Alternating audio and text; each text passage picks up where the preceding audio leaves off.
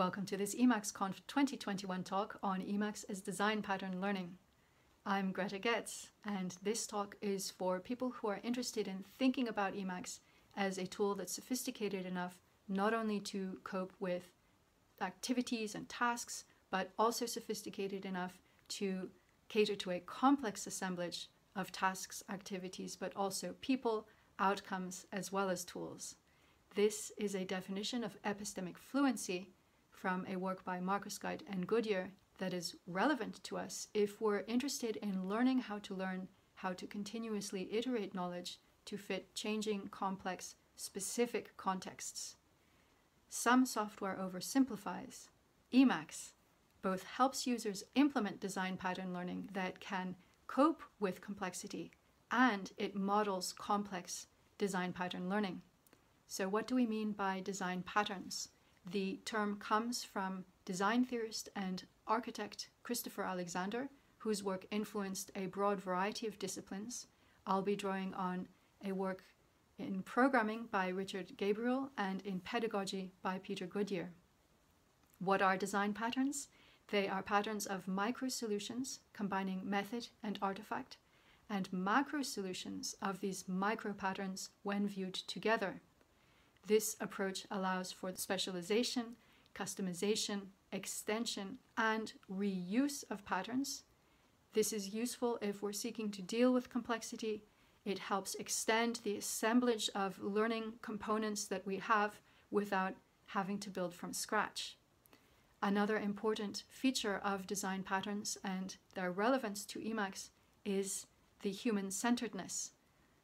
Christopher Alexander critiqued the mechanical and championed the human place. Emacs too champions the human place. So, why Emacs and design learning? One reason is indeed this extensibility through Emacs, which allows a person to extend their learning and use of Emacs as far as they wish to take it. This is thanks to its free software core, and this permits what we call in networked learning equality, which is to say, the opportunity to co create knowledge. So, if one wishes to extend their learning trajectory with Emacs such that they're able to write packages for Emacs, if these packages become part of the core, they are really co creating knowledge within the community and extending the capabilities of Emacs.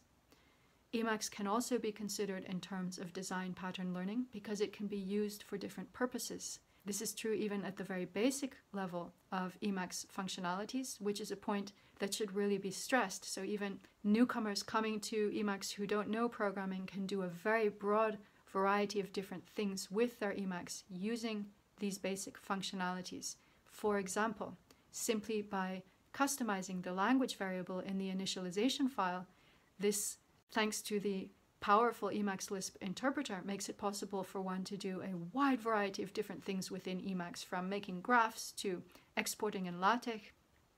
And also part of the Emacs basic functionalities are how we can cycle through different tasks and texts very easily through buffer cycling, or how within org we can use tree outlines that can hierarchize the material that we're working with and even change from being a headline into a to do. So we see this extensibility, this flexibility. Also with an org, we can see how by writing just a few lines of code, such as through header arguments or code blocks, we can change the way in which a file or part of a file is executed. An illustration of what this means to the beginner would be how easy it is to export a LaTeX file. So one doesn't even need to know all of LaTeX to be able to implement parts of LaTeX within org. So this variety of different purposes then can be experienced by the beginner. And Emacs is also an example of design pattern learning because it is a design pattern of learning itself. Here we're thinking about design patterns as a visual representation we can think of how systems of systems, which Emacs is an example of, stem from a successful center. And this center is surrounded by a boundary, which is itself made up of centers. So where we have Emacs at the center, we also have packages such as Magit. Magit can be viewed as a center unto itself. However, this center only exists thanks to the center of the center, which is Emacs. And thus, we speak of Emacs as being successful design pattern implementation. And why do we care about design pattern approaches here? Well, what I'm trying to say is that this is useful to the person who is interested in being able to more efficiently cope with complex and specific situations. And this design pattern allows for this because of its extensibility, because we can find these specializations or customizations that are able to reach these changing contexts. This can be compared with other software applications that are prefabricated, so they already decide what it is a person is going to do when they use them. This also means that what they're doing within these applications can get stranded there, that it's harder to integrate their knowledge or their texts or their activities with each other. A lot of software also makes assumptions on who their users are. We know that we speak in user experience design of the customer journey or of personas, and very often then the customer journey is pre designed. But within Emacs, we can be our own persona. Practical use of Emacs can also make non programmers into programmers. So, this is to say that as we are using Emacs, we can continue to develop as far as we wish. Therefore, we are not only users within Emacs, but we are also creative persons and producers. So, here I am citing work by Ivan Illich. We can further contribute to the evolution of the rules of Emacs to draw on Bernard Stiegler. If I may also make this analogy, within our inits, we contribute to the evolution of the rules according to which our Emacs works for us. But again, if we're extending our learning trajectory, and if we write a package and the write and the package becomes part of the core, we do indeed contribute to the evolution of the rules of Emacs. But because it stems from our personal use and our personal customizations, we can think of it as being a personal toolkit. So this design pattern iteration approach to Emacs is the very reason why it is that we can customize it to our own liking. And using Emacs to extend our freedom then helps us to develop heuristics. It helps us develop our decision making, our problem solving, and responsibility for what it is that we're doing and these skill sets are extensible beyond Emacs. These can be considered as life skills that have relevance beyond. This is a very good example of why it is that being exposed to complex assemblages matter to us as human beings. So it's good training ground for life, but it's also important for a very basic pedagogical point. So now I'm going to draw on work by Hélène Trocmé-Fabre, who explains that reduced and poor contextualizations flatten communication. So, for example, within the field of software, if we are using an application that only asks us to swipe left or right, this deprives us of our ability to respond in a more sophisticated way. So, by contrast, by being exposed to a rich contextualization within Emacs, we are learning to contextualize which Trocmé-Fabre says is the first step in learning how to learn.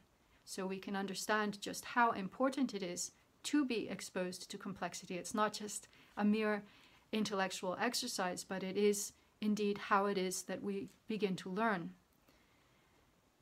If this sounds too abstract, maybe we can step back for a moment and think about visualizing Emacs as a mental map. So here too I'm going to draw on Trocmé-Fabre, and she is building her ideas on those of Tony Buzan, who was the popularizer of the mind map. So mind maps begin with a core, which with Emacs is the Emacs core, which now includes org.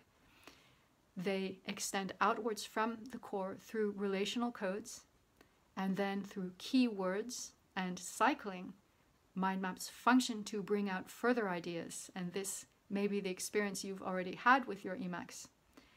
Then finally, these mind maps extend outwards at the periphery.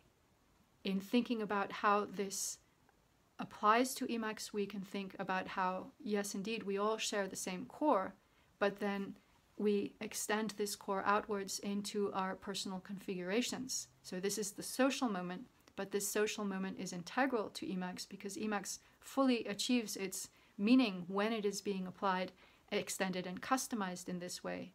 Further, these social branches are relevant to the continuation of learning how to learn how to use Emacs. So, for example, we may have our first configuration file and then we might want to compare it with other people's configuration files, not only to see what code they're using, but also to see how it is that they are implementing certain functionalities within their workflow.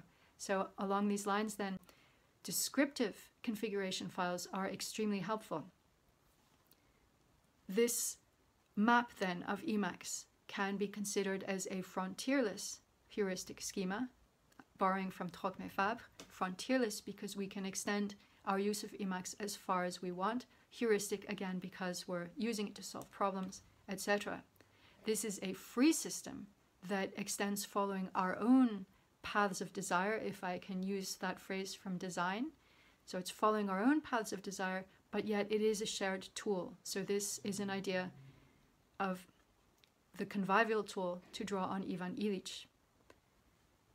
Emacs is itself a design pattern framework, so we can visualize this through the mind map, but we can also go back to thinking about how Christopher Alexander's work inspired Richard Gabriel to think about systems of systems within software. And he, drawing on Alexander, says, well, there is such a thing as a being of successful software if it succeeds in being a center of centers as we saw before. So in Emacs, then we have a system that's made up of other systems, of communicating components that work together to provide a comprehensive set of capabilities that can be customized, specialized, and extended to provide more or slightly different capabilities. So if we're not finding what we need within the core, we can look for packages that allow us to extend in a certain way, or we write our own, or we begin to write in Emacs Lisp. And speaking of personal customizations, Emacs can be considered as an extension of the as yet unfulfilled promise of general computing. In the 1980s, Michael Crichton wrote that it's easy to use computers, which is fortunate because everyone's going to have to learn. It's not easy to use computers wisely, which is unfortunate because everyone's going to have to learn. Emacs is wise computing because everyone's Emacs is their own. We see that it is an exercise in heuristics, but while it is complex at, on some level, we want to remember that it can be used easily by anybody as often or as seldom as they want for the purpose that they are choosing and shaped according to their own taste. So again, I'm drawing on Ivan Illich here. Emacs then champions the human place and is a support in our learning how to learn. So now I want to think about being inspired by the Emacs design pattern and comparing what I think I've learned about how Emacs works with some research that has been done by Philip Guo and his colleagues uh, about how technology is being used in certain online contexts. Researchers continue to note how the modes of delivery of content continue to change in terms of what is considered effective and what is not. The talking head was considered effective, for example. Lectures needed to be broken down into shorter segments. But I would say that by using Emacs and by working within the Emacs ecosystem, one is already used to representing one's knowledge in a variety of different ways. So if we are called tomorrow to deliver in a different way, we're already used to thinking about this within Emacs. So for example, merely by changing a header argument, one, one can change the way in which text in a file is executed. So we see then this easy iteration within Emacs. We can also think about how Emacs can be considered in terms of a help for developing rhetorical topoi, topoi being places where we find things, places where we find ideas, because we can circulate among the different tasks and texts that we are working on within Emacs seamlessly, this increases the likelihood that we can gain the inspiration of, of the collage of different ideas that, that bring out new ideas. At least this is how I've experienced Emacs, if I may add that anecdotal observation. And speaking of bringing out ideas, we see how changing Emacs functionalities can help us bring out ideas, for example, through how we can use PlantUML easier today than ever before. So we can now include mental maps within our Emacs files if we want to, but also if we're thinking about Emacs helping us both remember the material that we're working with and represent it, we can think of it in terms of its archival functions. So we can see an example of this in Sacha Chua's init, where she is using Emacs to manage her recent sketches.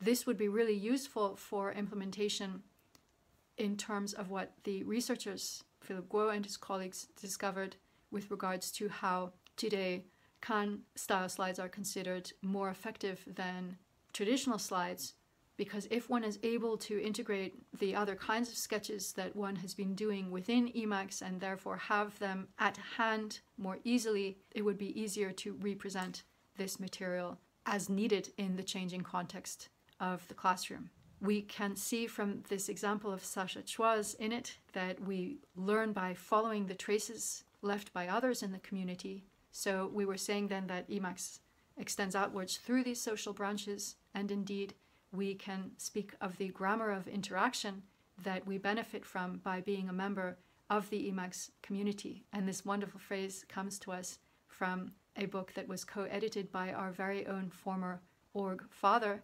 Bastien Guerry, in an interview that he led with Nicolas Gaume. Nicolas Gaume was explaining how in video games we see our character and compare our character to other characters and we watch how other characters make decisions and the outcomes of these decisions and their trajectories in the game and then we compare where we are with respect to this and by having this comparison it helps us chart out our own path so we can experience this grammar of interaction within Emacs every time we compare our config with that of others. Emacs further champions the social element through co-individuation, which is a term coined by Bernard Stiegler. This means the meaning that is known and shared by other individuals. What is it that we know and share within Emacs? It is how to improve our lives through customizing Emacs in specific ways. So if one person reaches the apotheosis of individuation and they're living the life they dreamed of through their Emacs use, they can share this information with somebody else who too can come to realize themselves in this way. Without the social milieu, without this attention to the human element, the technical milieu inevitably becomes a negative externality. So here I'm drawing on Bernard Stiegler. What does this mean? This means where knowledge becomes automatized, it becomes a closed and self-referential system. Because it's self-referential and closed, there is no need for any human input. So the human within this system turns into a servant. By contrast, by using human-centered Emacs, we are able to take care of our neighbors. We can write extensions for them. We can help each other on the forums. We can even teach just one more person how to use Emacs. And this idea comes from Ivan Illich, who extends it to say that by taking care of our neighbors in this way, this enables us to excel at using the best available tools, the tool here being Emacs. The community aspect of Emacs can also be seen in how the core of Emacs itself is evolving. So just like we are configuring and programming Emacs while we are using it, Emacs too continues to develop as the core expands. So in this too, we see how Emacs is a model of design pattern learning that we can be inspired from.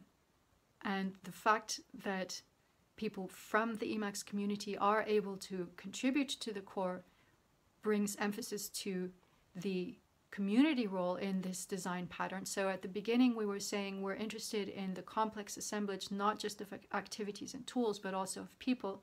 So here we are talking about an Emacs community. This is also thanks to the selfless work of people like Sacha Chua or blog rings such as Planet Emacs Life that bring us together so that we truly can say that there is a community. This conference is an example of this, and thanks to the conference organizers. But this community, because of the free core, allows for there to be different viewpoints within the community. And one thing that I've noticed about the Emacs community is that there are sometimes even competing views within the community. This can be considered proof of concept of systems thinker and philosopher Edgar Morin's idea of a cognitive democracy, which is to say, a community that is nourished by antagonisms while also regulating them. The being of this very special community, then, very importantly, stems from how at the center we have free software that, that allows for this range of difference and range of extensibility to exist even within the community. So, by way of a conclusion, we can think of Emacs as the center of centers that expands, that is relational and free. Only in some systems, we should add, does this being emerge? So, this going back to Richard Gabriel, just to champion Emacs one more time before we say goodbye. Only in some systems, some software systems, does a system succeed in becoming the center of all of the other centers. And become a framework that can be used and reused, which gives systems and objects their spirit. So Emacs is being used and reused through these packages and it gives to them their spirit. The spirit, I would argue, is in part this extensibility and sometimes even difference. Emacs values the value of the freedom to create, use, and share, so we can be inspired by this design pattern. It is it rallies an autonomous designer mindset and encourages and supports us on our path towards design pattern iteration. It is not a flattened contextualization. It permits ongoing learning, reassembling contexts, and an adaptable design pattern extensibility. Ultimately, it helps us create circumstances where learning is coherent with what is valued in the rest of life pleasure, growth, and transformation. So, thank you on that note to all of the developers, maintainers, contributors, and community for championing our freedom to co individuate complex design patterns the way we want to, so we too can leave original traces if we want to. Thank you very much.